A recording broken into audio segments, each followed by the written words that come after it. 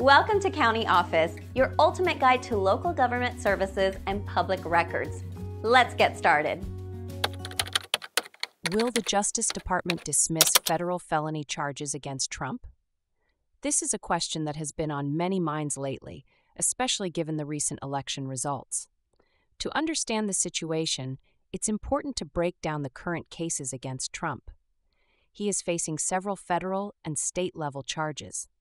At the federal level, Trump has been indicted on four felony charges related to his efforts to overturn the 2020 election, including the events leading up to the January 6, 2021, siege on the U.S. Capitol. A trial date was set for March 2024, but it has been delayed due to the Supreme Court's involvement and the consideration of what actions constitute official acts versus private conduct.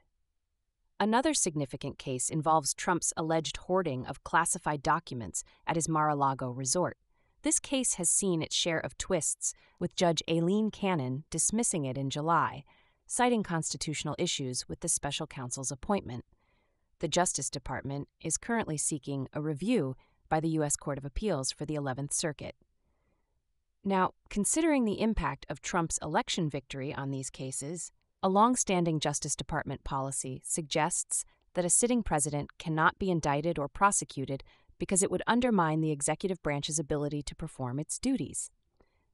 This policy, established in 2000, indicates that prosecuting a sitting president is unconstitutional. Given this context, it is highly likely that the federal cases against Trump will be dismissed or delayed. Special Counsel Jack Smith is already taking steps to wind down these cases before the president elect takes office.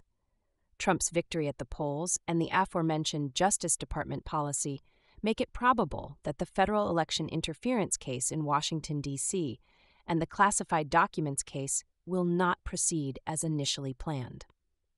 The combination of Trump's election win and existing Justice Department policies points strongly towards the dismissal or delay of the federal felony charges against him. As the situation unfolds, it will be interesting to see how these cases are ultimately handled.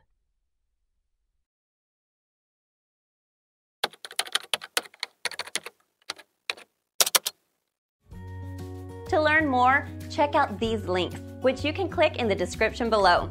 And feel free to comment your questions. We're here to help. Thanks for tuning in to our video please like and subscribe and leave a comment below. See you in the next video.